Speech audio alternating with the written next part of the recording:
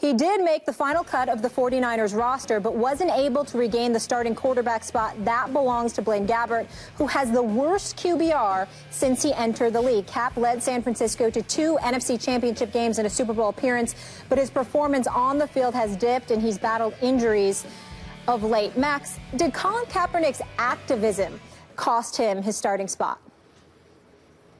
The answer is no. No, it didn't. And I know, I know how that sounds. It sounds naive, right? Like, oh, you don't, you don't get it. This is the way it works. If you stand up and Actually, in this case, no. And I realize here we are on Labor Day and the history of just like leaving race and protest aside, the history of just labor organizing to stop being exploited is rich in this country. And, and that doesn't precisely relate to this, but certainly Colin Kaepernick falls in the worker part, not management here. Um, but no, he is not being exploited or manipulated uh, by being kept on the roster but not given the starting job. I don't think this is a political thing at all. If you review it, he lost his job last season. He lost his starter's job last season, not this season. The question was, would he stick on the roster this season?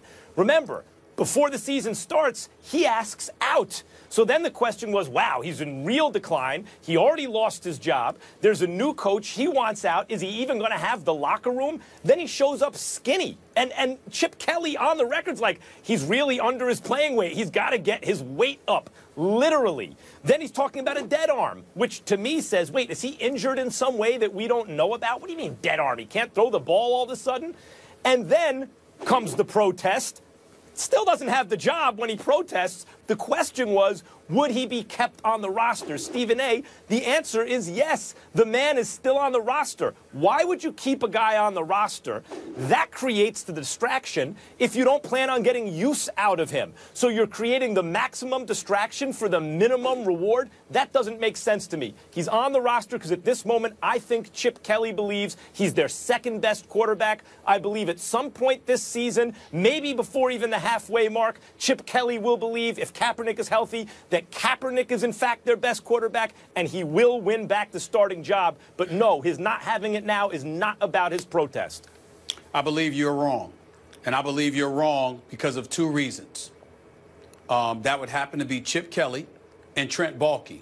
Now let's take into consideration. I want to make sure that I emphasize Chip Kelly and Trent Baalke because under no circumstances would I make this kind of uh, uh, a proclamation against any other organization in all of the NFL. I'm talking about those two individuals. In the case of Trent Baalke, you have an individual who had a winning coach, and basically because of your personal relationship with him, you got you you you partnered with the owner and got the CEO essentially to co-sign you basically getting in his way, sabotaging his level of productivity, and throwing the franchise to the wolves at the expense of the fan base and the organization itself. That's the Trent Baalke we're talking about here. Also, a Trent Baalke who wants to talk to the media as little as possible, who wants to engage in spin and manipulation as, as, as much as possible. This is what his MO has been. I don't know the man. I've never met the man. I'm just talking about what NFL aficionados have told me. In the case of Chip Kelly, I'm significantly closer to that situation.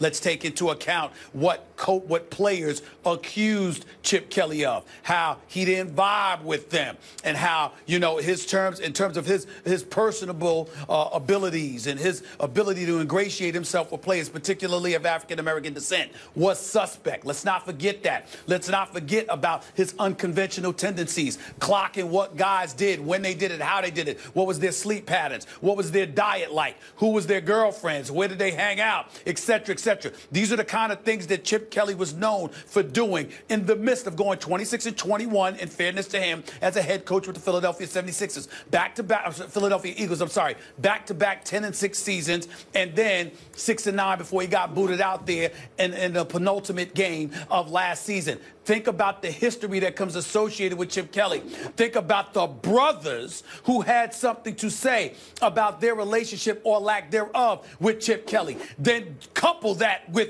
it being Colin Kaepernick, him taking the position that he's taking, him being very out front with it, not consulting with the team before he did it, creating this maelstrom of controversy, wearing the afro, looking like a member of the Black Panthers in this day and age in the eyes of somebody like Chip Kelly. In fairness to Chip Kelly, he did come on the record and say he had no problem with it, but that's what he had to say. Because what the hell is Chip Kelly going to admit? That I got a problem with it? That I don't like this distraction? That I don't like it being about anything other than football? Blah, blah, blah. He can't say that. Not with his recent history in Philadelphia when he's lucky to have a job in San Francisco. So that's what you have to take but into let's consideration. not confuse the what chronology.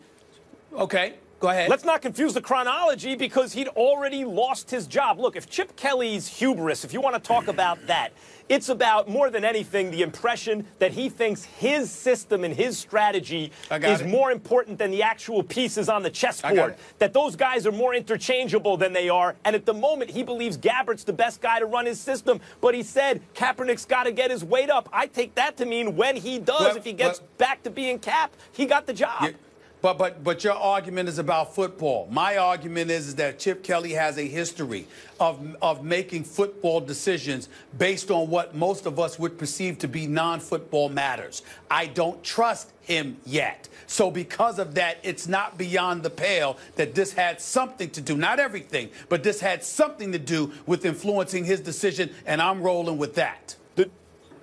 The, the news would be if Cap got the job. The news that Cap doesn't have the starter's job, that's not news. The news would to be, Blaine oh, Gabbert, Cap won 8 back and the job. 27. 8 Or- and 27, Blaine All Gabbert. right. Blaine Gabbert Listen, stinks. you and I are on the same Chris page Carter about that, but not the not not the Niners.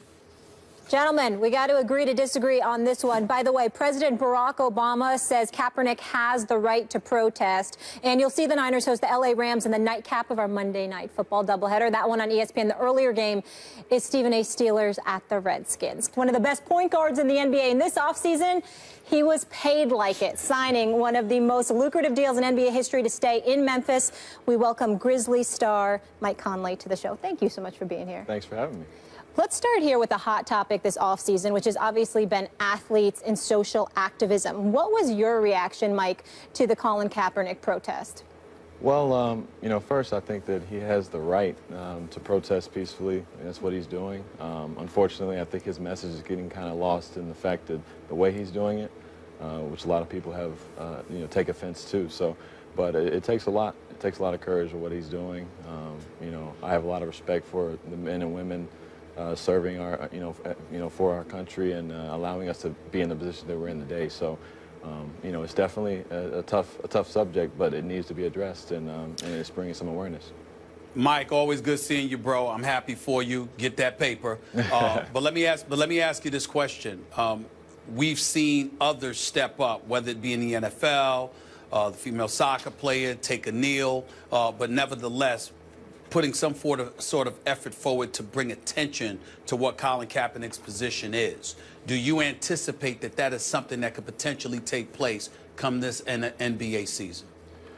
Well, you know, I don't, I don't count it out. Um, I, am not necessarily one to, to know for sure if guys are, are going to bite and, and, and follow suit, but um, I think more needs to be done, uh, you know, than just aware, you know, awareness and raising awareness. I think we have to get out in the field and, and, and try to make change as well. So um, I'm one who's donated, you know, a million dollars to Grizzlies Foundation in order to help um, you know, th- throughout the city of Memphis and trying to raise awareness and do these things. But at the same time, it's not about money or, um, you know, how much awareness you can necessarily raise. You have to get out there and try to, you know, do it yourself and, uh, and try to make change. And that's something that all us athletes have to do a better job of. Go ahead, Mike, Ryan Hollins was raving about your leadership ability, and I asked him for some specifics because he played with you, uh, uh, for people who don't know, the veteran backup center uh, on Memphis last year. And he was talking about how if there's something to be done in the community and it involves shovels, you jump down into the ditch and start, and so the whole team follows you down there and, and, and does it too. And that brings a kind of sense of community uh, on the team in Memphis. Why do you think it is, just switching to NBA for a second, why do you think it is that more players in your position, point guards in this point guard era, don't do stuff like that? Don't take the leadership role that, that you've that you've actually that you've assumed, obviously. Well, you know, it's hard to say. Um, I feel like I feel an obligation to it um, in the position that I've, I'm in and the opportunity I have, um, the platform that I have as a, as a basketball player in America. Uh, all of us, you know, have a responsibility to our communities. Uh, we're role models whether we whether we like it or not, and that's something that uh, it comes with uh, being a being a professional athlete. So to get out there in the community, to embrace the role, um, really show your face. You know, not just on TV, not just speaking about it, but actually going into those neighborhoods and in those in those bad places and seeing uh, people who, who really need help and, uh, and and you know promising, not just promising, but doing and, and, and showing that you really care about uh, their lives and, and, and the betterment of their, their communities. Mike, let me When transition you see back Kaepernick, to. okay, go ahead, go ahead, Steve. I'm sorry. Let me transition to basketball because we are talking to an individual uh, that that played very good basketball for the Memphis Grizzlies for years. You just, I'm not telling your business, but damn it, it was in the press all of these months. 153 million dollars. Okay. Now people look at those dollars.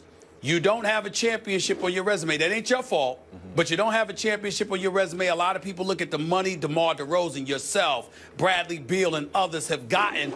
And a lot of folks are thinking the pressure is going to mount significantly because with the money that's been doled out to these players, you know, at some point in time, they're going to want it to pay championship dividends. I want to know if you thought about that and how fair do you think it is for Joe Public out there and, and Molly Public out there to have that kind of attitude?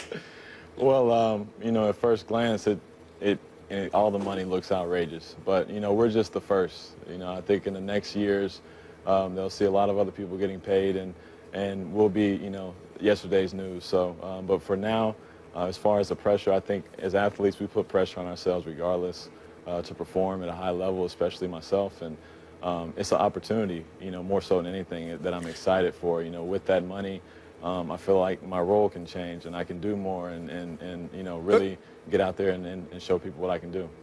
Max, excuse me for interjecting, but Mike, I got to ask, I got to follow up with this. With the money that's being doled out there, what about those who look and question whether or not the incentive is going to still be there? Not for you, because your character speaks for itself, not for the guys I mentioned, because those are good dudes with good character. But with the money that's being doled out there, people may question where's the incentive to go out there and really, really produce when you know no matter what you do, you're going to get this paper coming your way. What do you say to that? Well, you know, I think all of us got here um, in this position, you know, through hard work. It wasn't given to anybody. You know, we all had to go through our, our sacrifices, our obstacles, and um, you know, to get to get to this position. There's so many people want to be professional athletes, and there's so little, you know, amount of people in this world who get that opportunity. And um, I think that doesn't leave an athlete, you know, regardless of what you get paid. Some of them, you know, I can't speak for everybody, but some of them may you know, once they get paid, take a back seat and, and relax. But a lot of, the, you know, the majority of these athletes in all sports, um, you know, really play with a lot of pride and integrity, and, and I don't think that'll change. All right. How do you stop Golden State, Mike? How do you match up with those guys? How do you stop that team? um, first off, it'll be fun. I tell you that. You know, it's a we're all competitors, and uh, and that's going to be a uh, you know, the team on everybody's, you know, list. You know, we got to try to, you know, go out there and try to knock them off. The only way we're going to get out of the West is to beat or go through Golden State, and um, and it'll be, you know, a, a tough task. You know, with uh, Kevin Durant joining and already the kind of, you know, the cast of guys they have there and uh, the coaching staff and the, the system that they play, it's, it's going to be a, a tough task. Shocking those two disagreed on KD going, whether they like the move or not. Mike, again. I didn't like it. surprising, right? Love it. Thank you so much for being here with us. We appreciate it. Again, Good seeing you, congratulations on Thank the on the new deal. Good luck this season, and uh, we we appreciate it. And also applaud you on donating the one million dollars. That's huge. Thank you very much. Great work by you. Coming up next.